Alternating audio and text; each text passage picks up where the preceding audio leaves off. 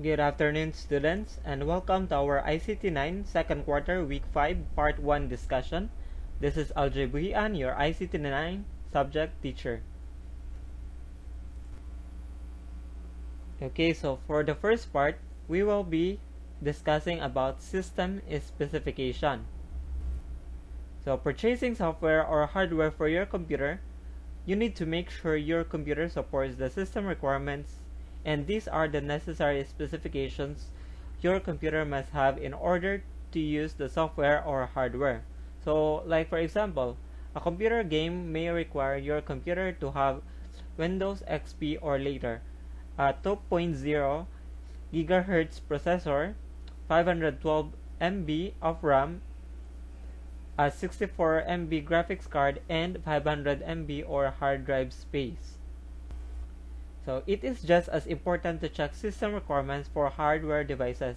For example, if you buy a printer, it may require either Windows XP or Mac OS X 10.3 or later. It may also require a USB port and 80 MB of available hard drive space. So if your computer does not have any USB ports, you will not be able to physically connect the printer. So if your machine does not have uh, Windows XP or Mac OS X 10.3 or later, the printer drivers may be incompatible with your operating system. So this means your computer will be unable to recognize the printer. So most hardware and software products have the same requirements and printed on the side or bottom of the product packaging. So when you are shopping for computer software or hardware, it is a good idea to first find out exactly what your system's specification are and write them down on a piece of paper. So the important information to record includes operating system, processor speed, memory, graphics cards, hard disk space, and input-output ports. So these are the things that you need to uh, importantly uh, record for your information in uh, purchasing or um, shopping for a computer software or hardware. So performance of a computer depends on four factors. So these are the speed and architecture of its processor or central processing unit, which is the brain of our computer then how much random access memory it has? So uh, it has to be uh, at least 500 or maybe above that. Then another it's graphics systems. So uh, whether it supports a great um, great visual effects on your computer. And then its internal hard drive and capacity. So the hard drive Okay, next, uh, let's talk about the process processor speed and architecture. So the speed of a computer's processor chip, or technically known as its clock speed, in measured in gig gigahertz, with the fastest modern processors currently running at up to 4.7 gigahertz. So however, for most computing tasks, including web browsing, sending emails, word processing and spreadsheet work, and any processor running at 1 gigahertz or more, which remains perfectly sufficient. So for application, applications such as video editing, 3D graphics work, and for the majority of the power users, playing computer games, higher processor speeds are hardly required. So if you want to have a computer gaming system, you need to have this um, video editing, 3D graphics work, and majority of the power users. So CPU performance is now determined by far more than raw speed alone. So Intel made this very clear when it introduced its system of processor numbers. These provide an indication of pro processor's architecture, cache, and front-side bus or FSB speed in addition to its clock speed. So the architecture of a processor is the most important factor to determine its performance and refers to its basic design and complexity. Some processors are simply more sophisticated than the others. So with Intel, for example, producing basic processors called Celerons and Pentiums, as well as more power, powerful processors. So the front side bus speed is a measure of how fast a microprocessor communicates with the computer's main circuit board or motherboard, into which it is physically connected. Again, the higher the measure, the better for all performance, with FSB speed currently ranging from 533 megahertz is still perfectly sufficient for the vast majority of applications, up to 1600 megahertz. Okay, now let's talk about the RAM. To a large extent, the more RAM a computer has, the faster and more effectively it will operate. So computers with little RAM have to keep moving data to and from their disks or hard disk in order to keep running. So this tends to make them not just slow in general but more annoyingly intermittently sluggish.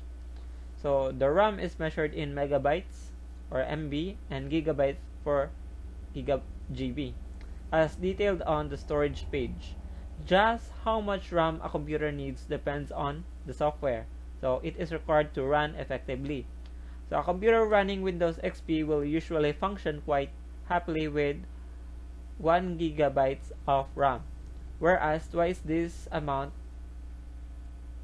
example 2 gigabytes, is the realistic minimum for computers running Windows 7. Next is the graphics system. So a computer's graphics system determines how well it can work with visual output. Graphics system can either be integrated into a computer's motherboard or plugged into the motherboard as a separate video card. So graphics system integrated into the motherboard, also known as onboard graphics, are now quite powerful and sufficient for handling the requirements of most software applications aside from games, playing, 3D modeling, and some forms of video editing. So any form of modern computer graphics system can now display high resolution color images on a standard size display screen. For example, any monitor up to about 19 in size. The more sophisticated graphics card now determine how well a computer can handle the playback of high definition video, as well as the speed and quality at which 3D scenes can be rendered. So another key feature of separate graphics card is the most of them now allow more than one display screen to be connected to a computer. So others also permit the recording video.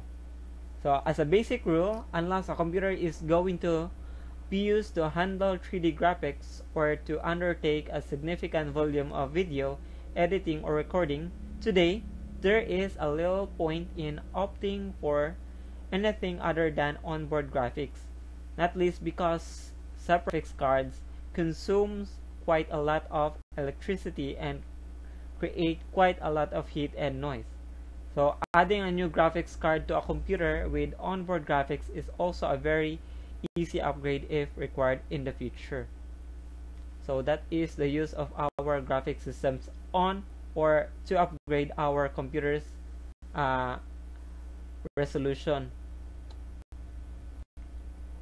Then lastly, we have the hard drive speed and capacity. Today, 40 gigabyte is an absolute minimum hard drive size for a new computer running Windows 7, with a far larger capacity being recommended in any situation where more than office software is going to be installed. So where our computer will frequently be used to edit video, a second internal hard disk dedicated only to video storage is highly recommended for stable operation. So indeed, for professional video editing using a program like Premiere Pro CS5, Adobe now recommend that a PC has at least three internal hard disks. So one for the operating system and programs, one for video project files, and one for video media. So the two key factors determine the speed of traditional spinning hard disks. So the first is the rotational velocity of the physical disk itself. So this can currently be uh, around 4,200, 5,400, 7,200, and 10,000 or 15,000 RPM or revolutions per minute. So the faster the disk spins, the quicker data can be read from or written to it. So hence the faster the disk, the better.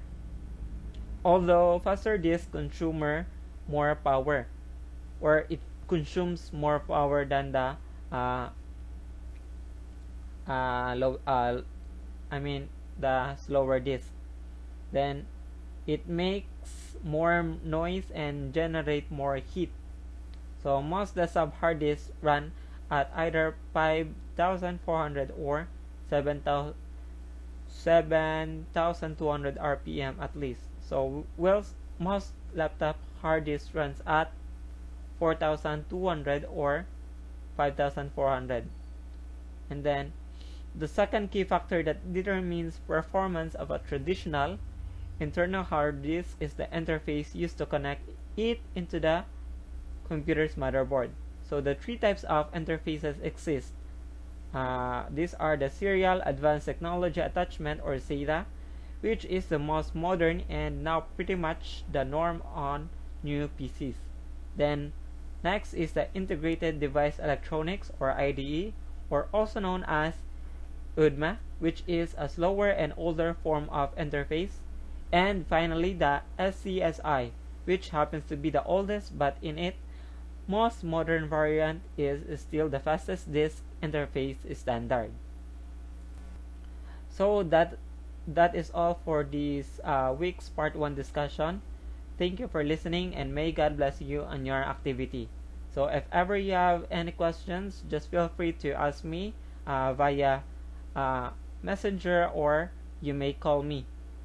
So and then if you want to view this uh, discussion again, you may access it on our uh, learning content management system or at lcms.gaitf.com. Thank you again. This is Aljay Buhian signing off.